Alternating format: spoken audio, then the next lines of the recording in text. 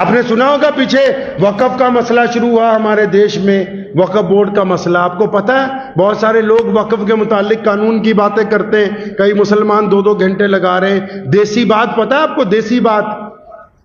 عام سی بات وقف ہے کیا؟ وقف بورڈ نہیں، وقف بورڈ تو صرف کسٹوڈین ہے۔ کسٹوڈین مطلب رکھوالا ہے۔ مالک نہیں ہے۔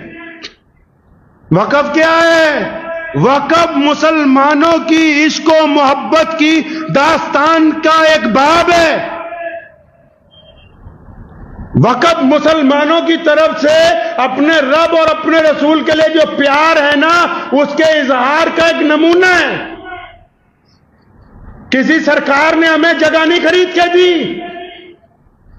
حکومت اس لیے اس میں دخل نہیں دے سکتی کیونکہ جو کروڑوں سمپتیاں پوری دنیا میں ہیں یا ہمارے دیش میں جو وقف کی سمپتیاں ہیں، وہ کسی سے بھیک میں ہم نے نہیں مانگی ہیں۔ وہ بڑی بڑی جائیدادیں مسلمانوں نے اپنے اللہ کے عشق میں، اپنے رسول کے عشق میں ان کو اپنے رب کے نام پہ وقف کر دیا کہ ان کی آمدنی سے رب اور رسول کے دین کا کام ہوگا، ان کی آمدنی سے غریبوں کی بھلائی کی جائے گی۔ اس میں کسی کا دخل نہیں ہے، یہ عشق و محبت کی داستان ہے۔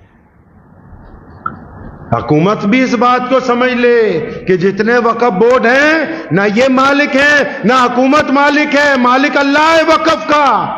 کیونکہ جس بندے نے وقف کی ہے، اس نے یہ لکھ کے وقف کی۔ کہ یہ جائیداد، یہ کھیت، یہ محل، یہ مسجد، یہ دکانیں میں وقف کر رہا ہوں اپنے اللہ کے نام پر۔ آج کے بعد یہ بیچی نہیں جائیں گی، آج کے بعد ان کی رجسٹری نہیں ہوگی، آج کے بعد فروخت نہیں ہو کیا جائے گا۔ ان سے کرایہ لائیں گے، اس کرایہ سے مسجدوں کو پیسے دیں گے، مدرسوں کو دیں گے، قبرستانوں کو سدھاریں گے، بیواؤں کو پینشن دیں گے، اسکول چلائیں گے، اسپتالوں کو پیسے دیں گے۔ لیکن یہ جو اللہ کے نام پر جائیداد وقف کر دی، اس کو کوئی مائی کا لال بیچ نہیں سکتا۔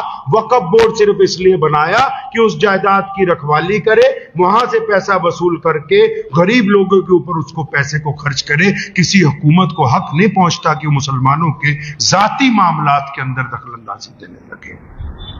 کیونکہ وقف کی جائیدادیں اپنے پیسے سے وقف کی ہیں، سرکار سے نہیں مانگا۔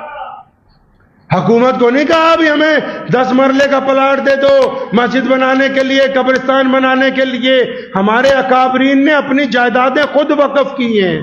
اب کسی کی رجسٹری ہو، کسی کی اولاد کے نام ہو، کوئی بندہ اپنی جائیداد کسی کو دے دے، کل کو حکومت کہے جی ہم اس میں دخل دیں گے، نہیں بھائی، جس نے پیسہ لگایا، جس نے قیمت لگائی، وہ اسی کی ہے۔ اب جس نے، جس کو اس کا مالک بنا دیا، تو اب وہی مالک اس جائیداد کا مالک ہے، کوئی دوسرا بندہ مالک نہیں بن سکتا ہے اس کا۔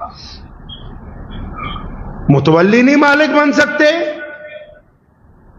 ان میں نہیں اتنی ہمت کی وقف کی جائیداد کو بیچ کے دکھا دے وقف بورڈ نہیں رجسٹری کروا سکتا، باقیوں کا تو چھوڑو۔ جو اس کے رکھوالے ہیں، ان کے ہاتھ بھی باندھے گئے ہیں کہ خبردار اپنی حدود کے اندر رہنا۔